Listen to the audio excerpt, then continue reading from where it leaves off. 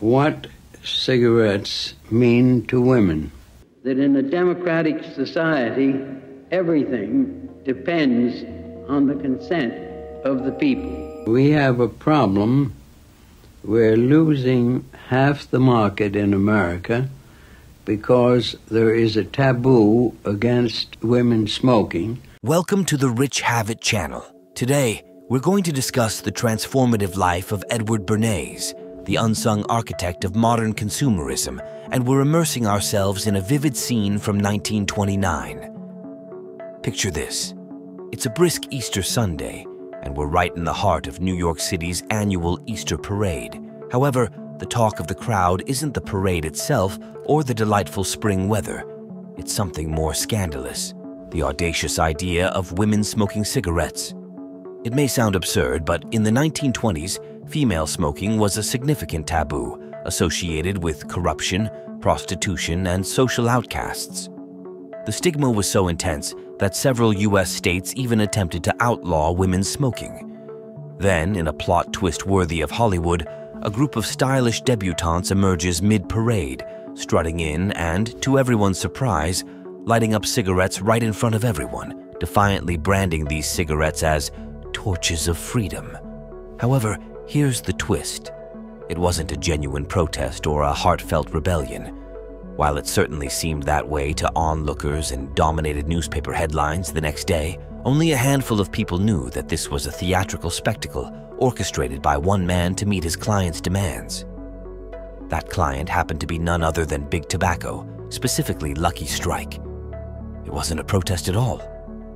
It was pure propaganda. And who was the mastermind behind this deception? None other than Edward Bernays, a name you'll discover is responsible for shaping modern-day consumerism. He's likely the most influential person you've never heard of.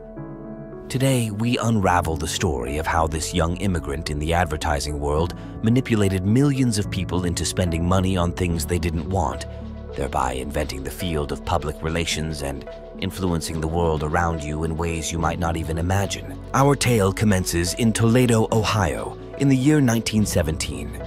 The atmosphere is subdued as the Grand Opera House's velvet curtain opens, revealing the enchanting voice of Enrico Caruso, an Italian opera sensation guided to international stardom by his astute agent. This agent, an Austro-Hungarian immigrant named Edward Bernays, boasts a lineage that would captivate anyone intrigued by human psychology, his uncle none other than Sigmund Freud, the father of psychoanalysis. Bernays, leveraging his cunning, is propelling Caruso to stardom by generating interest in the mysteriously beautiful voice, orchestrating public antics to protect it. However, on the fateful night of April 2, 1917, Bernays' life takes an unforeseen turn. Simultaneously, 300 miles away in Washington, D.C., President Woodrow Wilson announces a world-defining declaration the U.S. is entering World War I to fight against Austria and Germany.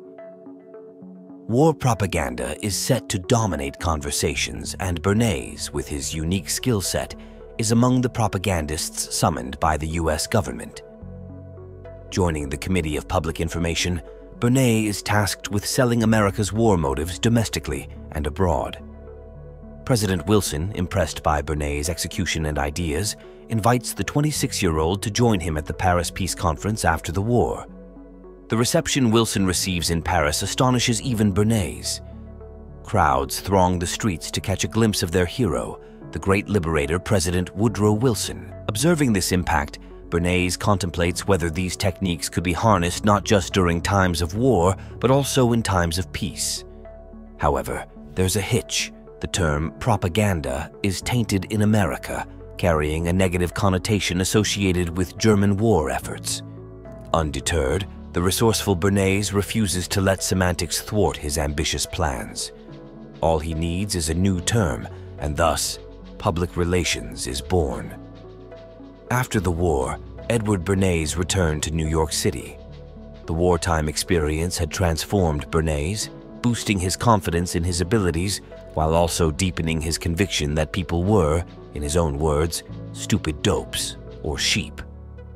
Armed with this newfound conviction, a somewhat diminished view of human intellect and a freshly coined phrase to describe his work, He established the first ever public relations consultancy, making his puppet mastermind skills available for business. Bernays reached out to his uncle, Freud, presenting him with a rare box of Havana cigars.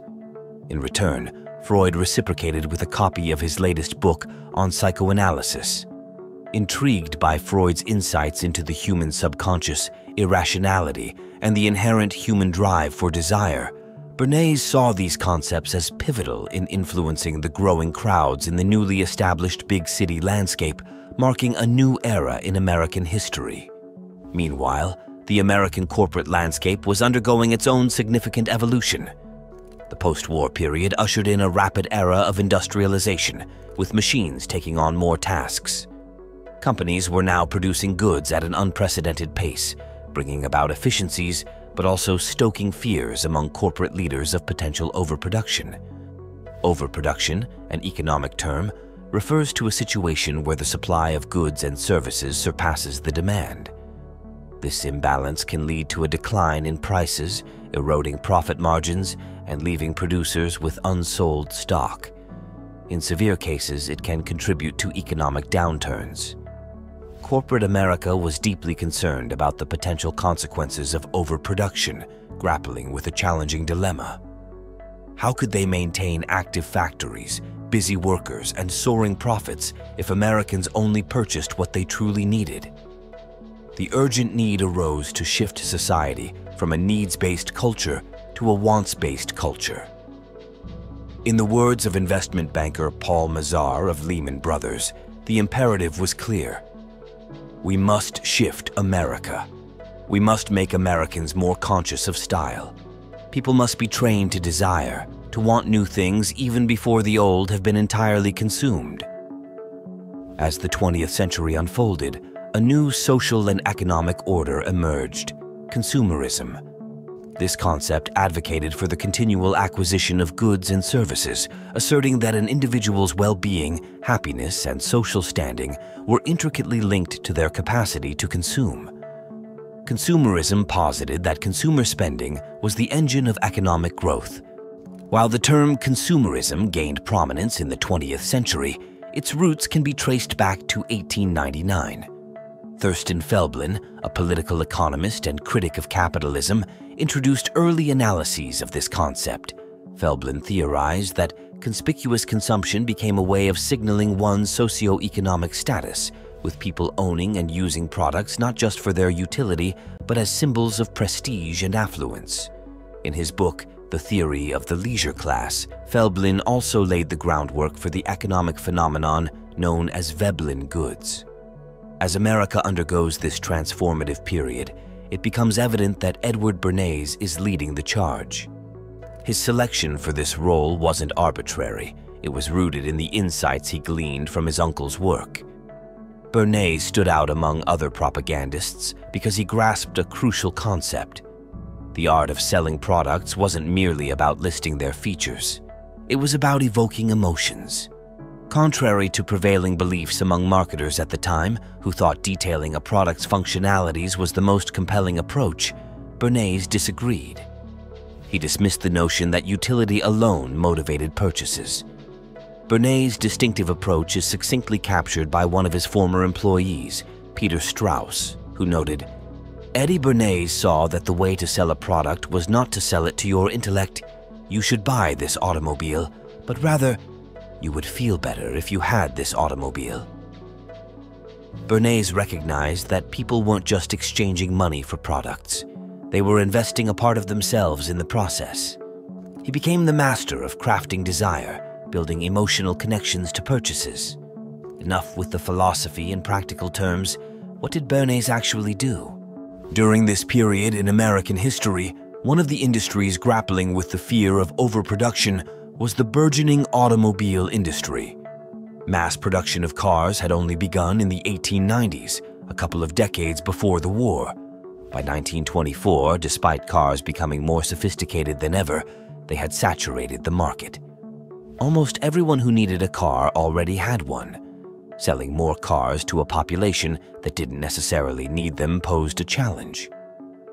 The idea of one household owning more than one car seemed ludicrous reserved for the mega-rich. Edward Bernays played a pivotal role in reshaping the marketing strategy for car companies.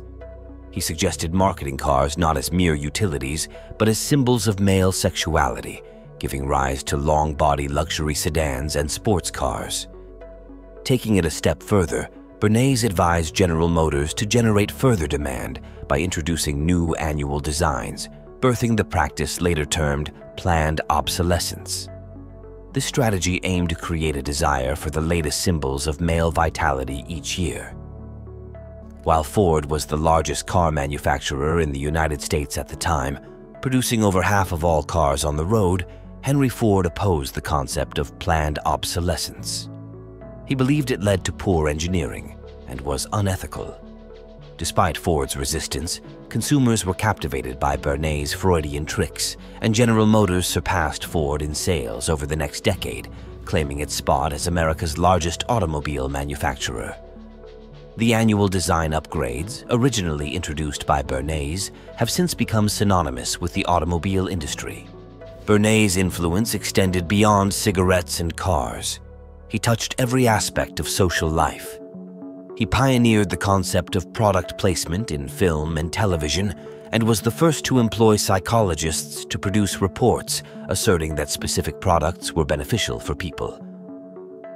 One notable example is his work with the Beech-Nut Packing Company, where he aimed to increase bacon sales using these innovative strategies.